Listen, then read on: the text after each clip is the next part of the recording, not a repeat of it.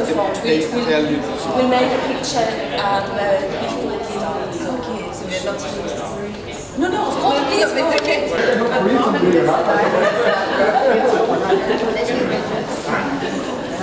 know the couple of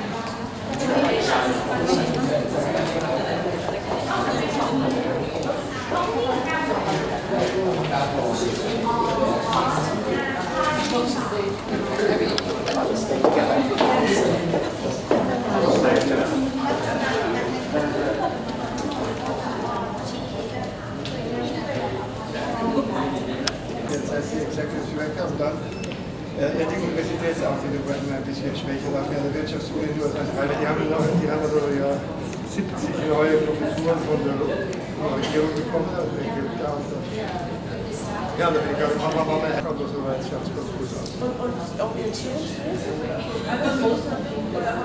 Nein, speziell, also nur. Ja,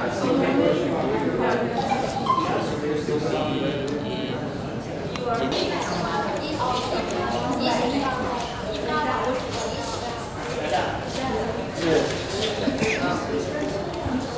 This is uh, next time, but then we put No, strong back, please. Oh, gosh, what, what?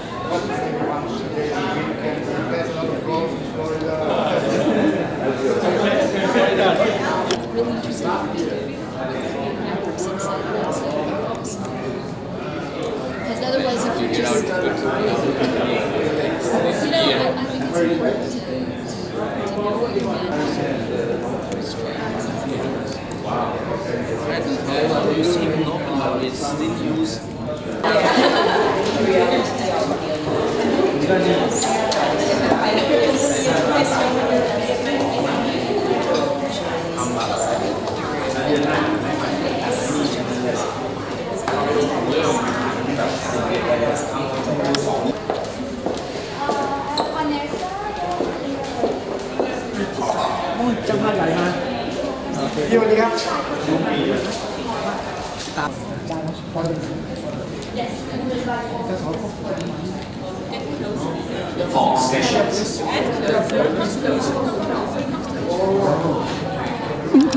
làm nè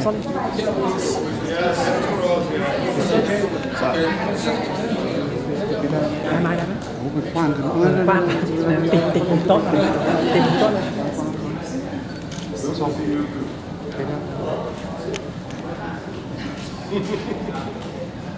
Come up, please.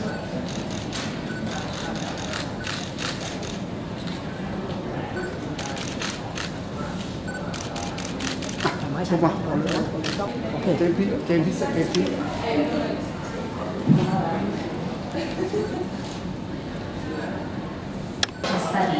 Okay, my name is Yong Kwon Kemikai, also from the College of Population Studies, Chulalongkorn University. It's our pleasure to be the MC of this expert group meeting, focusing on measuring population aging, reaching research and policy. Well, for this two-day conference, kindly organized by the United Nations Department of Economic and Social Affairs, the International Institute for Applied System Analysis, and the College of Population Studies, Chulalongkorn University, in collaboration with the Economic and Social Commission for Asia and Pacific. All right. Uh, at the beginning of this opening session, we would like to invite Professor Bundhit Ur the President of Chulalongkorn University, to give a welcome remark. Thank you, sir.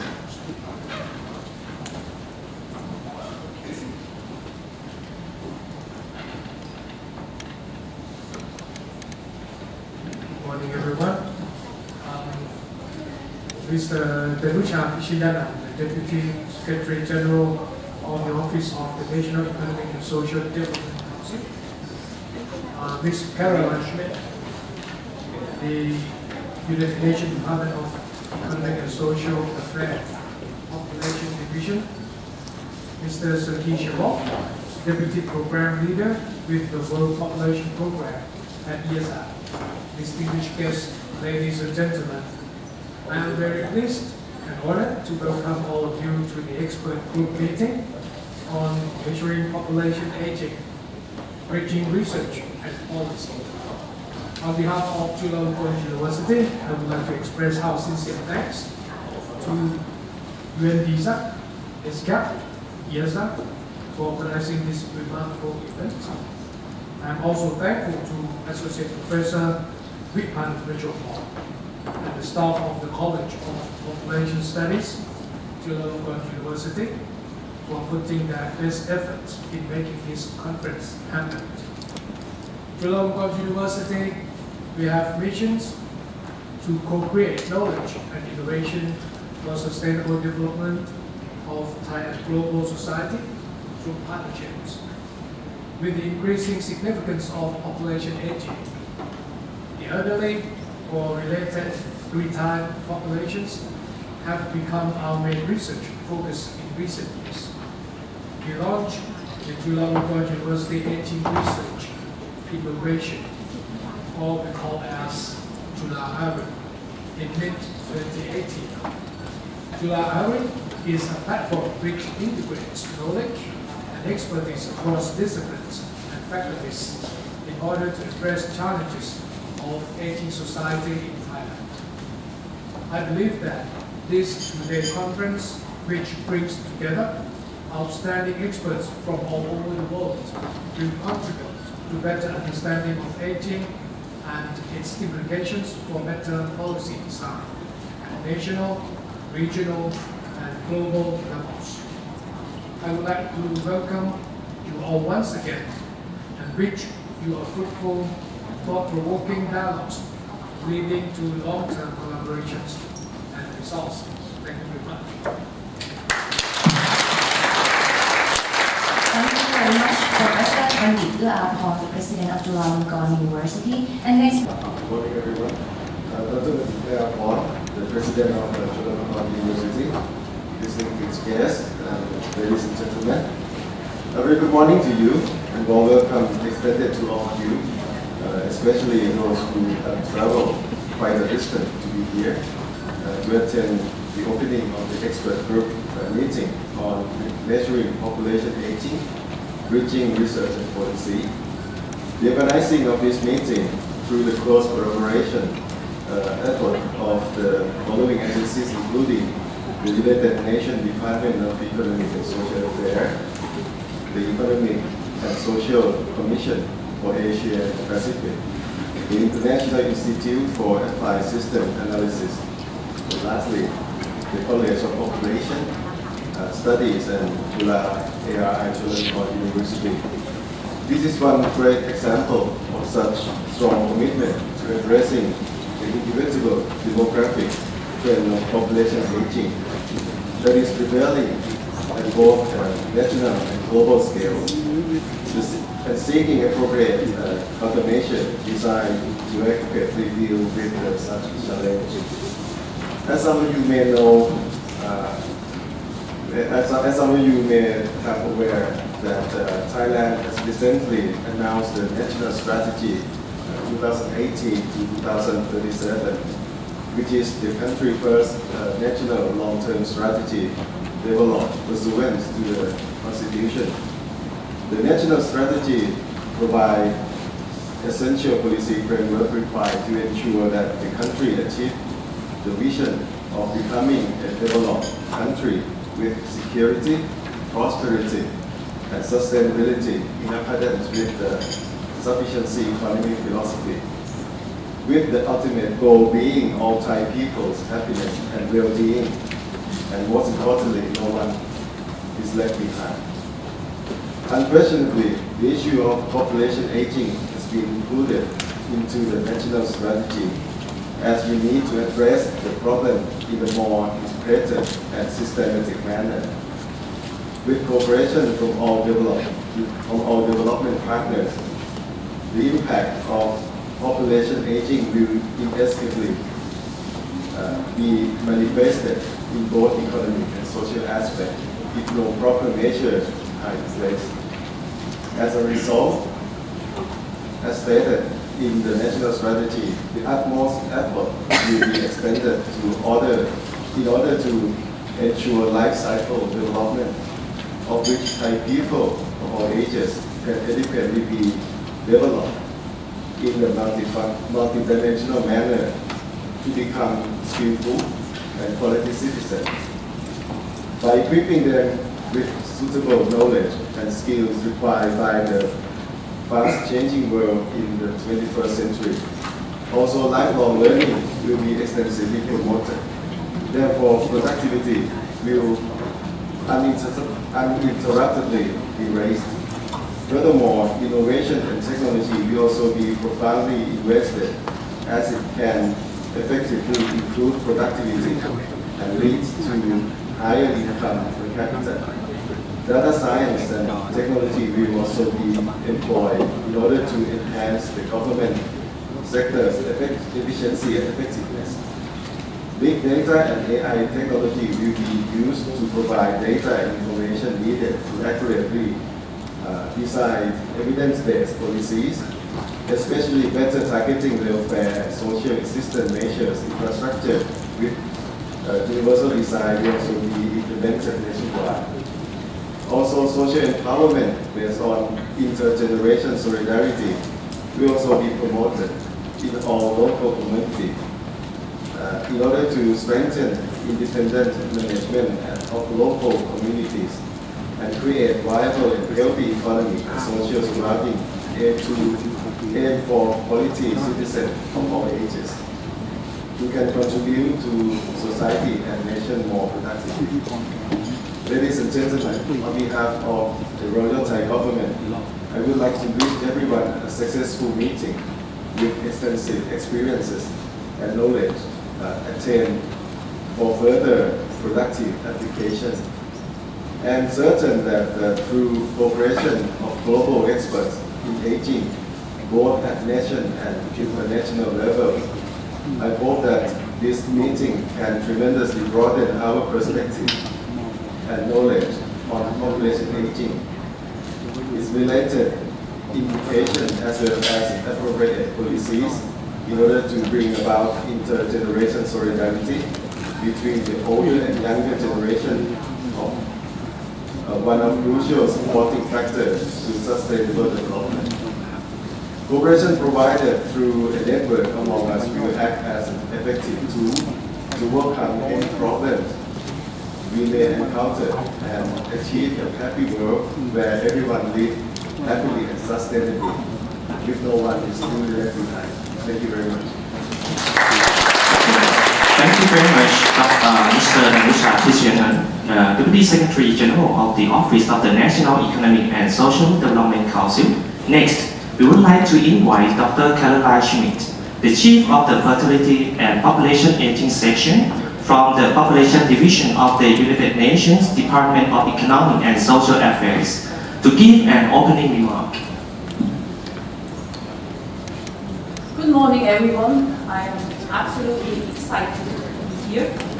It's fruit of work for many months, and we have worked hard and really put a lot of effort in to get everyone here, but this would not be possible without you here, without Ford or IIASA, Chula University, we would not have been able. But now let me stick to my statement, otherwise I talk too much and I don't want to do that.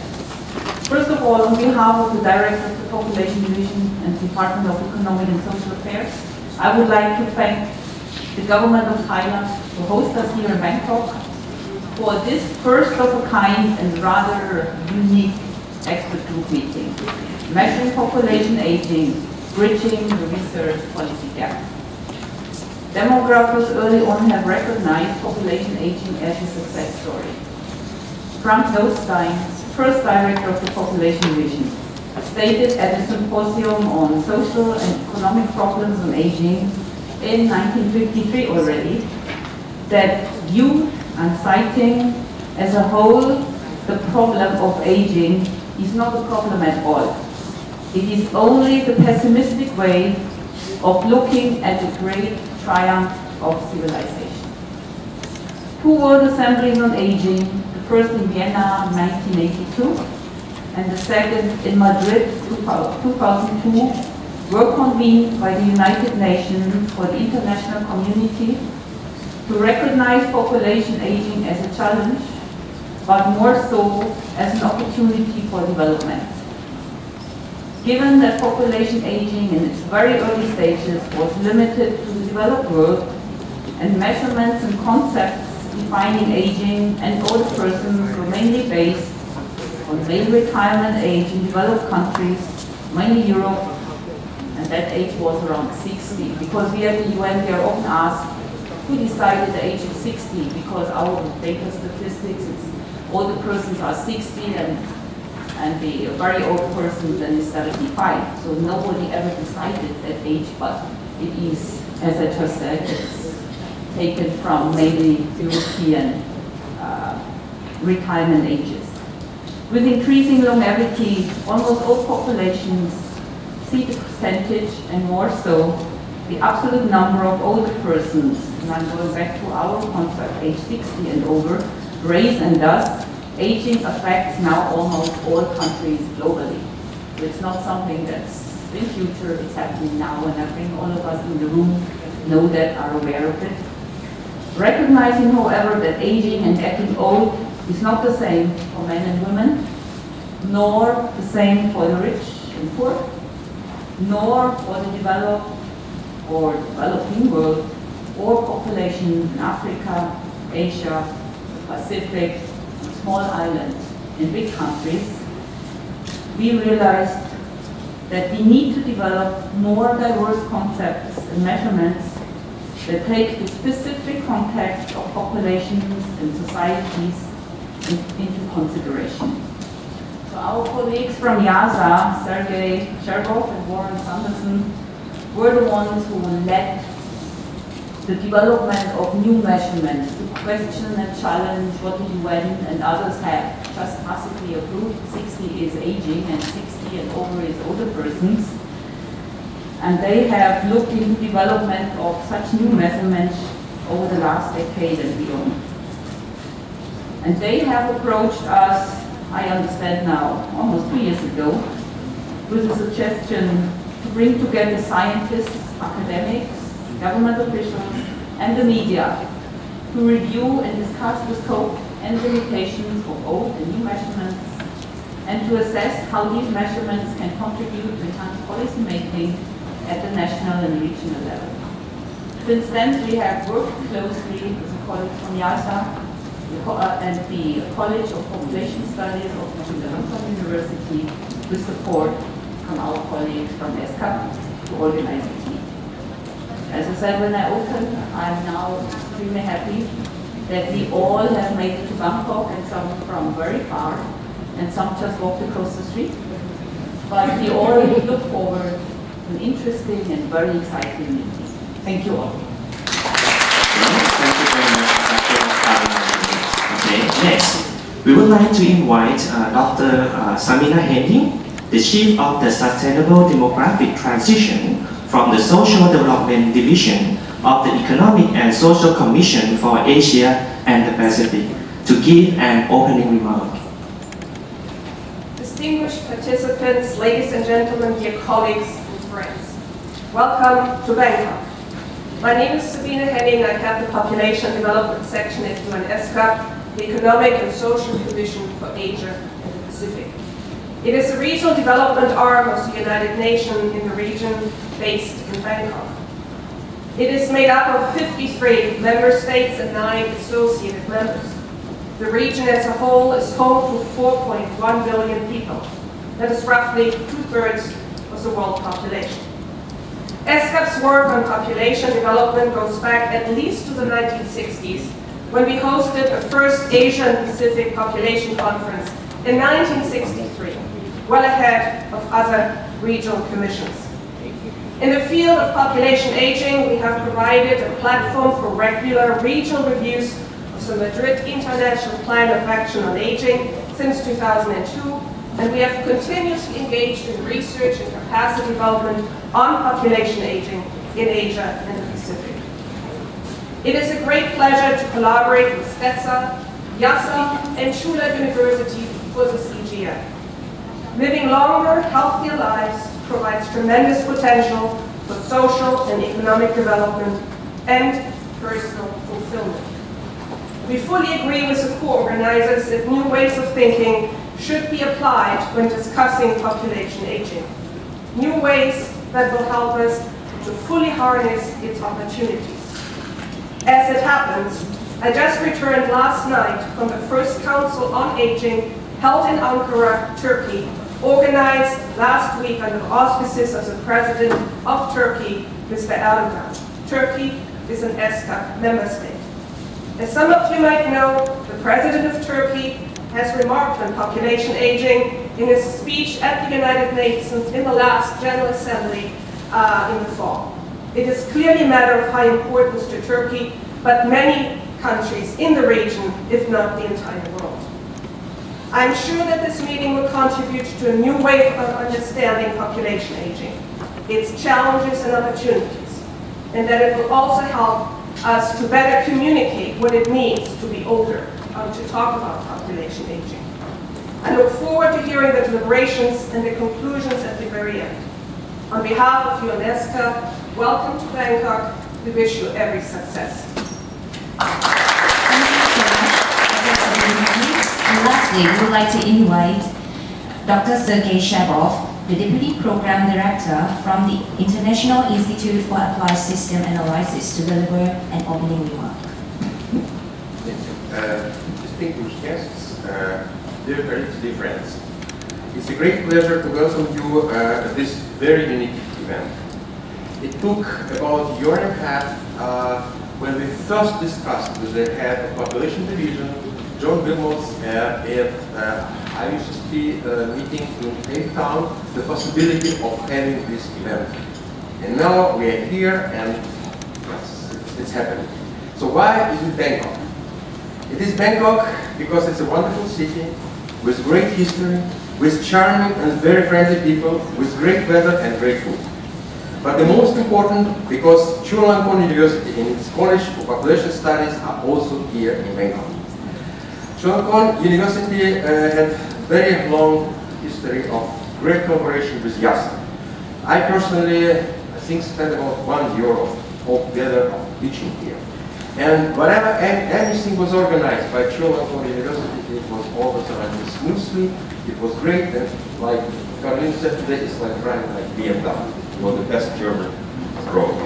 Everything is really amazing. Uh, so that's why uh, Population Division and IIASA approached uh, CPS, for Population Studies, to cooperate with us on organizing the meeting. And they were immediately on board and we were extremely happy. So why this meeting is unique? So this meeting is tackling issues related to aging. But there are plenty of different meetings on aging. Usually uh, they paint a bit gloomy picture of the future. Now, to my knowledge, this is the first meeting which is really focused on how do we measure aging and what consequences it has for different, uh, for, for, for, for our future, for, for policy making and things related to that. So unlike many other meetings, uh, we have some hope. We hopefully will have some hope uh, as a result of this meeting, and our future will look a bit more optimistic. So traditionally, aging is predominantly characterized by chronological aging. And conventional measure of aging do not distinguish 60-year-old person living today, living 100 years ago, or living 100 years ahead.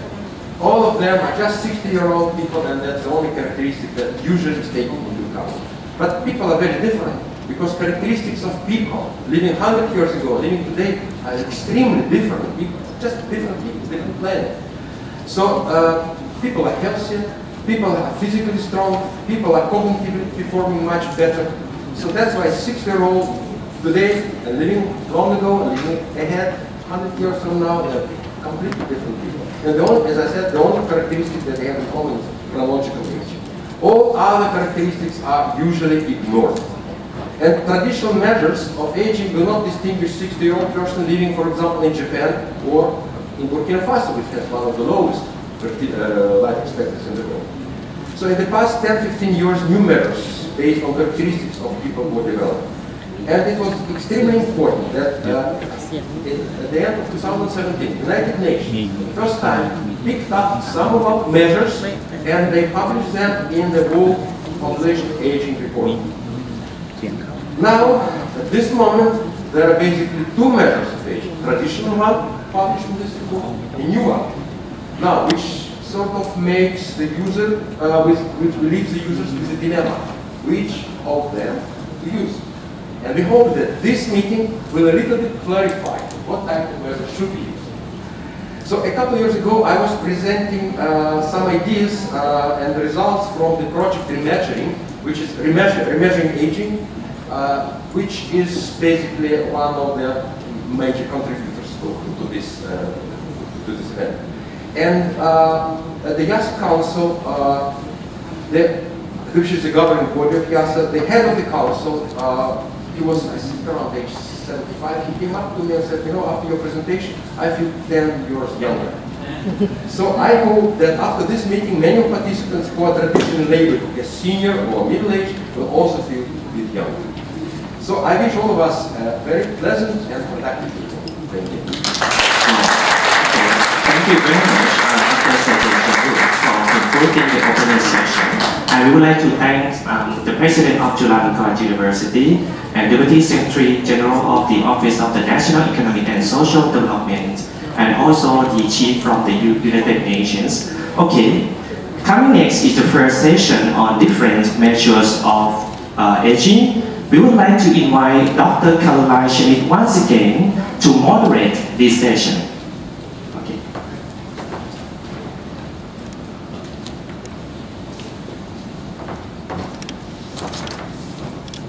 like we're going to start like five minutes. Thank you, Master.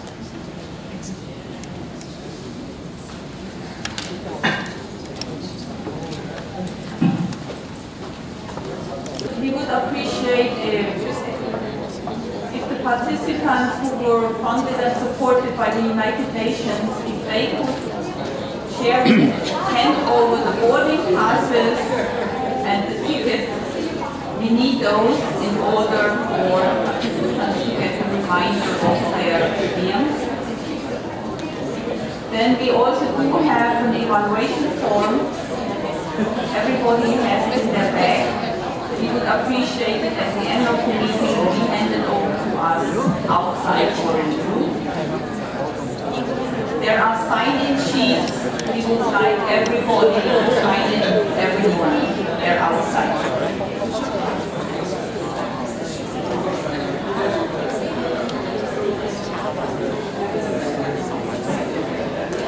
What we would also like to do is